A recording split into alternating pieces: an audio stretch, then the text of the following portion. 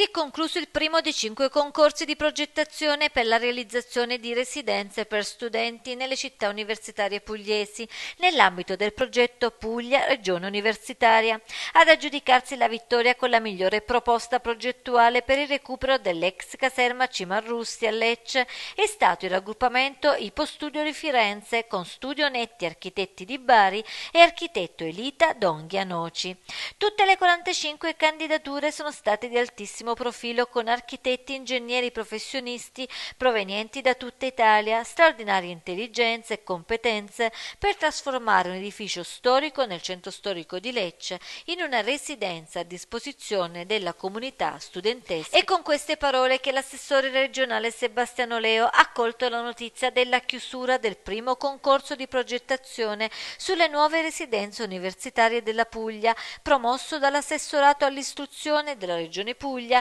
In collaborazione con le agenzie regionali per il diritto allo studio Adisu e per la progettazione Asset. Per il recupero dell'ex caserma Cimarrusti di Lecce sono giunte 45 candidature, di queste solo 5 sono passate alla seconda fase prevista dal concorso che prevedeva di sviluppare l'idea progettuale nel rispetto degli standard dimensionali, qualitativi e completi tutti i servizi di supporto alla didattica, alla ricerca e alle attività culturali e ricreative.